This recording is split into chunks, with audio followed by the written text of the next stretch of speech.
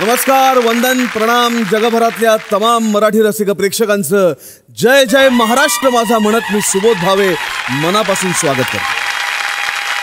जशी देवाची रूपं अनेक असतात तशीच त्यांच्या भक्तांची उपासकांची रूपं अनेक असतात. उदाहरण द्यायचं झालं तर खंडोबाचे जसे वाघ्या मुरळी असतात तसं यांचं दक्षिणेतलं रूप म्हणजे यल्लम्मा देवीचे उपासक जोग जोगतीण.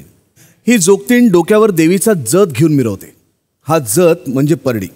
काही वेळा तर पुरुष मंडळी सुद्धा जोगतिणीचं रूप घेतात आणि देवीची भक्ती करू लागतात.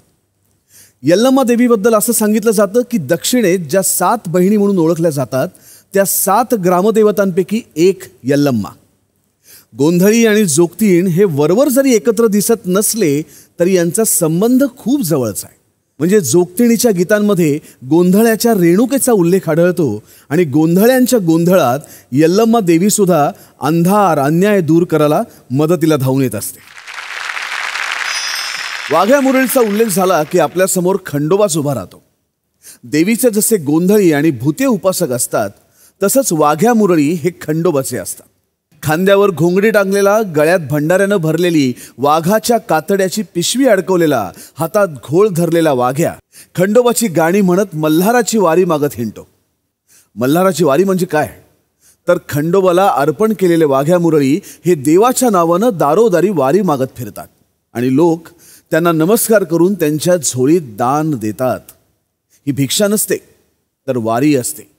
या वारीतूनच आठवड्याचे सातही वार वाघ्या मुरळी असंच जीवन जगतात. हा वाघ्या जागरणात तुंतुण्याची साथ देतो खंजिरी वाजवतो आणि मुरळी नृत्य करते. या जागरणाला स्वतः खंडोबानं यावं असं आमंत्रण दोघं मिळून त्याला देत असतात.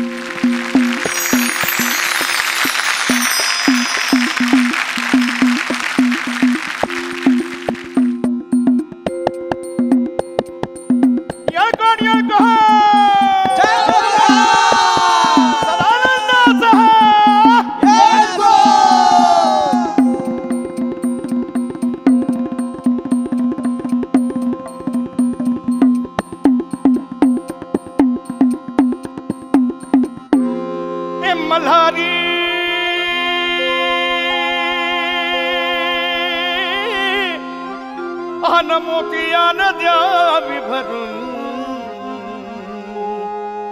ए मल्हार वारी अन मोतियान द्यावी भरून. ए मल्हार वारी ए मोतियान द्यावी भरून. ए मल्हार वारी मोतियान द्यावी भरून. ए मल्हार वारी मोतियान द्यावी भरून. मल्हार वारी मोतियान द्यावी भरून. समरप्ता वारी मोतियान द्यावी भरून.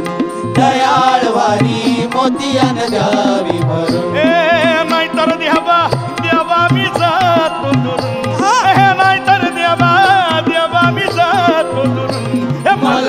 वारी मोतियान जावी भरून समरप्ता वारी मोतियान जावी भरून दयाळ वारी मोतियान द्यावी भरून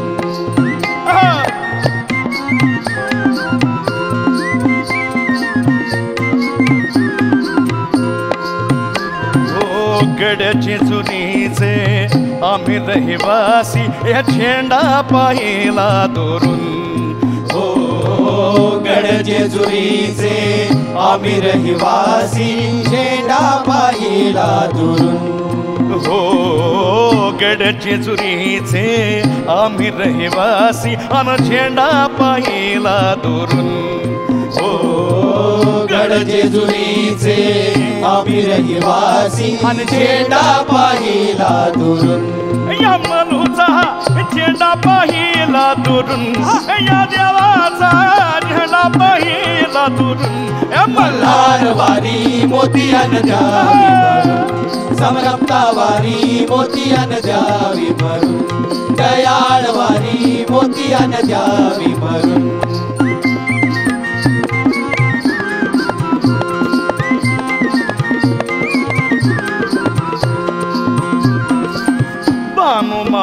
असा देवाच्या नारी हे चालल्या हात धरून.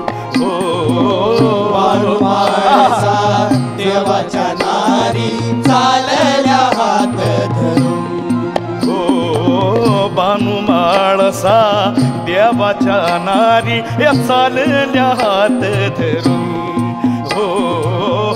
बाणू माळसा देवाच्या नारी चालल्या हात धरून हे या देवाचा चालल्या हात धरून हे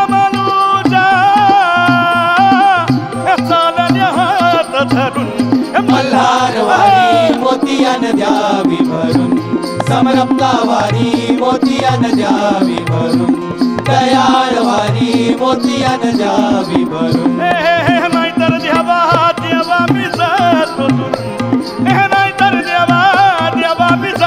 हे मल्हारवारी मोतियान द्यावी भरून. समरप्तावारी मोतियान द्यावी भरून. दयाळवारी मोतियान द्यावी हे भरून.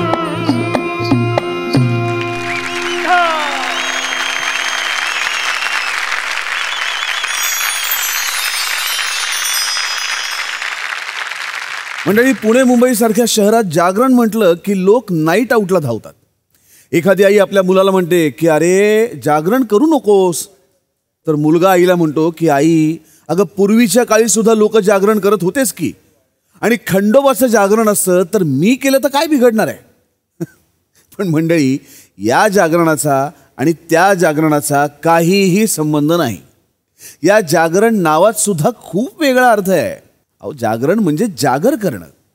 ज्याप्रमाणे सतत देवाची नावं घेतली की गजर होतो तसंच सतत देवाचा धावा केला स्तुती केली की जागर होतो. असा हा जागर रात्री केला की दिवस चांगले येतात अशी एक धारणा आहे. याशिवाय पूर्वीच्या काळी जेव्हा परकीय सत्ता होती तेव्हा शत्रू हा गावावर हल्ला करायचा बरोबर रात्री. आता येणारे हे आक्रमण टाळायचं असेल तर जागं राहायला हवं. मग देवाच्या जागरातून जागं राहिलं तर भक्ती आणि रक्षण दोन्हीही साध्य व्हायचं. मंडळी भगवान शंकरांनी खंडोबाचा अवतार घेतला. गळ्यातल्या सर्पाचा लंगर केला. डमरूची दिमडी केली. भस्माचा भंडारा केला आणि नंदीचा घोडा केला. तर हे सगळं का? कोणासाठी केलं? अहो भक्तांसाठी तर केलं. आपण असं म्हणतो की देव आधी परीक्षा घेतो आणि मग प्रत्यय देतो. पण जेव्हा भक्त भक्तीची परिसीमा गाठतो तेव्हा देवाला सुद्धा परीक्षा द्यावी लागते. अहो बाणाईच्या भक्तीमुळेच तर देव धनगर झाला. देव धनगर वाड्यात घुसला म्हणत तिथल्या लोकांनी आनंदही व्यक्त केला. पण तेवढ्यानं देवाची कसोटी संपणारी नव्हती. अहो अनेक वर्ष चाकरी केली सेवा केली तेव्हा बानुबाई नवरी म्हणून नटली. तुम्ही कधी पाच पावली हा शब्द ऐकलाय? जागरणात ही पाच पावली केली जाते. जागर सुरू व्हायच्या आधी त्या कुटुंबाची जी कुलदेवता असेल त्या देवतेच्या गावाच्या दिशेला काही पावलं चालत जातात. आणि वाटेत कुठेतरी पाठ मांडून देवाला जागरणासाठी येण्याचं निमंत्रण दिलं जातं. सांगितलं जातं की बाबा रे आमच्याकडे वाहन नाही. तुझ्यापर्यंत पोहोचायचं साधन नाही. आम्ही तुझ्यापर्यंत येऊ शकत नाही कारण तू इथून खूप दूर आहेस. पण देवा तू आमच्यापर्यंत सहज येऊ शकतोस. तेव्हा तुला जागरणाला नक्की यायचं आहे आणि मग घरी येऊन जागरण सुरू होतो. अहो देवावरची अपार श्रद्धा यापेक्षा वेगळी काय असते? मंडळी भक्तांची श्रद्धा सारखीच आहे. तिचा सोहळा फक्त प्रदेशानुसार असतो. तसंच जागरणात सांगणं एकच असतं. पण प्रदेशानुसार कधी दिमडी जागरते तर कधी डफ जागरण करते.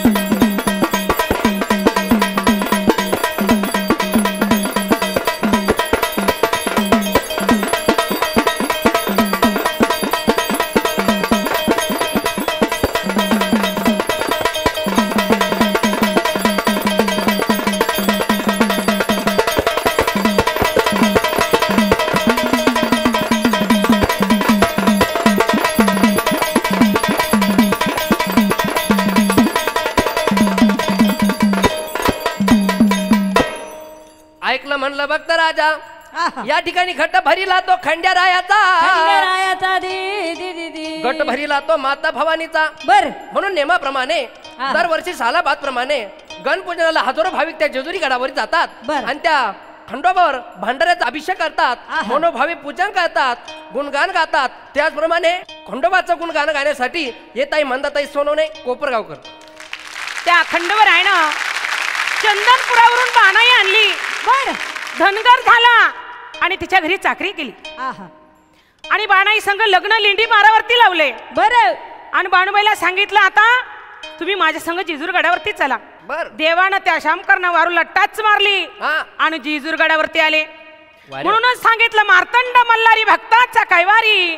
आलेले विघ्न निवारी. निवारी. देव सगुण कार निर्गुण झालासी. अवतार धरून जगी कौतुक लीला. अवतार धरिया कारण. उतारा या जन्मदोषी. भक्ती करा भक्ती करा. यांना देव येतील घरा. भक्ती केलं तर देव घरी येत असतो. भक्ती जर नाही केली तर देव घरी कसं येणार आहे? मणी नाही भाव. आणि देव मला पाव. म्हणून ती चंदनपुरावरून बाणे जेजूरगडावरती गेली आणि माणसानं बघितलं. माणसाला वाटलं बारा वर्ष माझ्या देवानं चाकरी केली आणि माझा देव माझ्याकडे परत आला. पंचारतीचं ताट हातामध्ये घेतलं. आणि देवाला वळण्या करते आणि दरवाजात उभी राहिली. आणि ते बाणूबाईचे पाय त्या घोड्यावरती दिसले.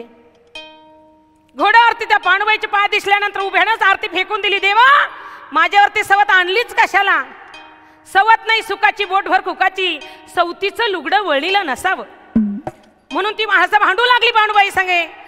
आणि बाणूला विचार पडला मी माझा सगळं काही धनगरवाडा सोडून आले. आता इथं तर ही माणसं माझ्याशी भांडायला लागली. बर. मग म्हाळसा एकीकडनं विनंत्या करती आणि बानुबाई एकीकडनं विनंत्या करती. कशी करती? म्हाळशी विनंत्या करते कशी? तुम्ही ना विद्या हर घडी नका धरू आडी. देवा तुम्ही सोडा न हो आबुला. देवा तुम्ही सोडा ना हो बोला. हो देवा तुम्ही सोडा न हो आबुला. देवा तुम्ही सोडा ना हो बोला. हो देवा माझ्या संग थोडं बोला ना.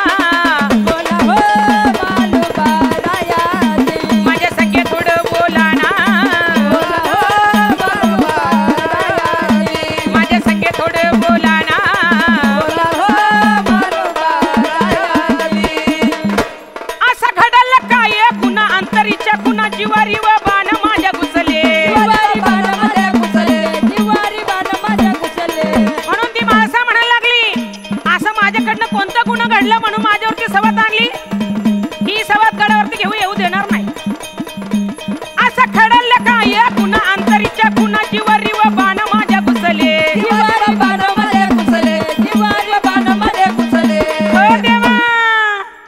सांगा रुसून का हो बसले?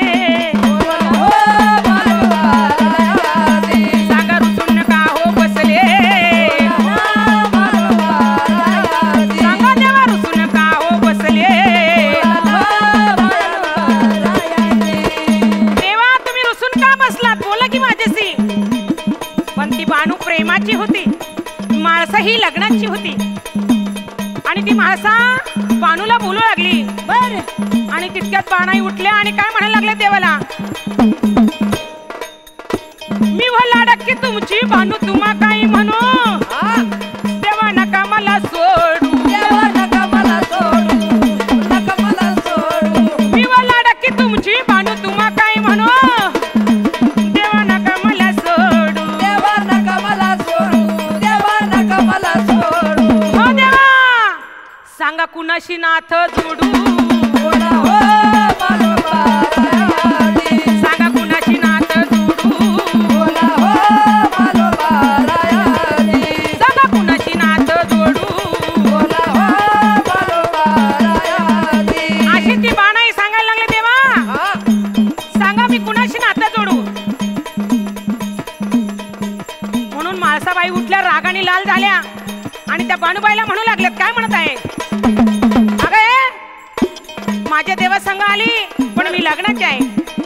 म्हणती काय म्हाळसाबाई मी व लग्नाची माळ सरात कळ सर्वच बाई घेते न वाळ नवाळ, मी व लग्नाची माळ रात्र कळ सर्वच बाई घेते न वाळ घेते बाणून कशी लावली कळ?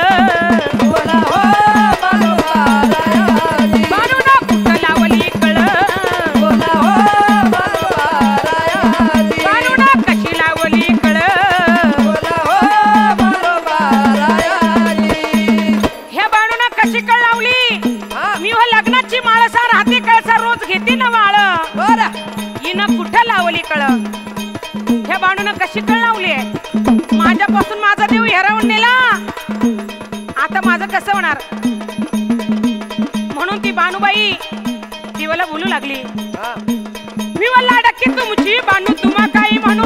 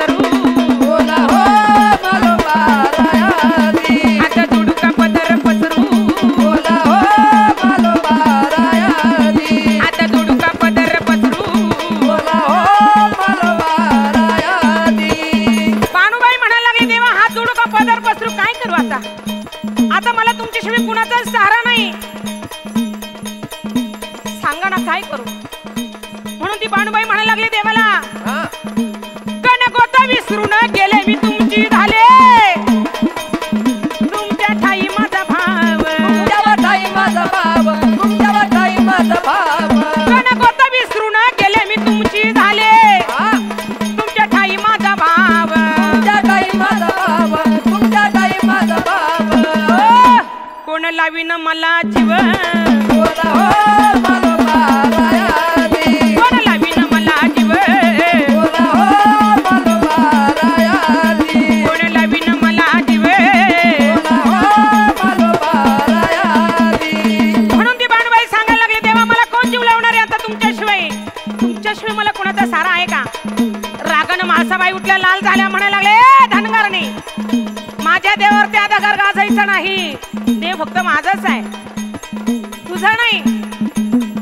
पण राग आला. बाणू म्हणा लागले का? मी सुद्धा देवाशी लग्न लावून आले. माझा पण हक्क आहे. अर्ध्या गाड्याची मालकीन मी पण होणार आहे. मग माळसाबाई काय म्हणायला लागल्या? काय म्हणायला लागल्या तुम्ही लाडाच्या का लट्ट बळा रोजबाई दळा.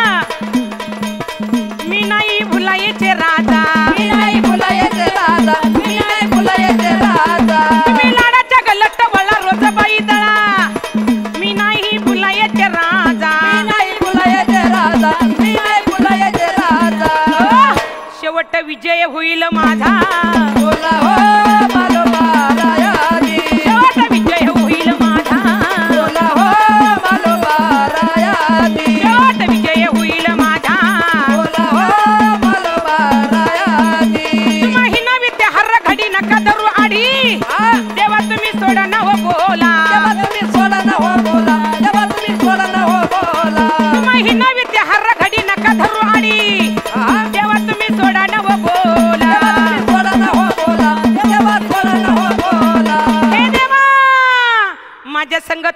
बोला ना. बोला हो माधोबारा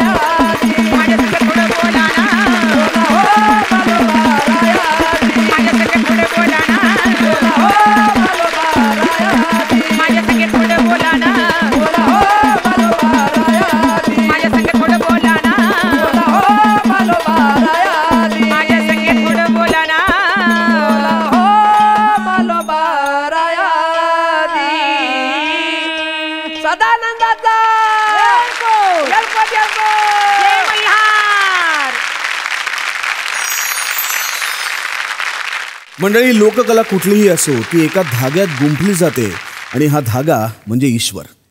त्याची भक्ती त्याची होणारी आराधना संकटात केलेला देवाचा धावा आणि याचा समाजाशी असणारा संबंध लोककलेत आपल्याला पाहायला मिळतो.